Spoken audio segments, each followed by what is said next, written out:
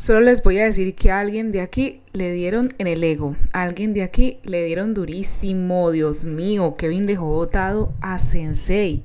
Sensei se quemó, se fundió tratando de culminar la prueba y no pudo. Olímpico en el equipo pibe trató de hacerlo, pero como no se le dio, prefirió cambiar de lugar con Kevin. Y Kevin no tuvo ningún error, fue preciso y conciso, tuvo paciencia.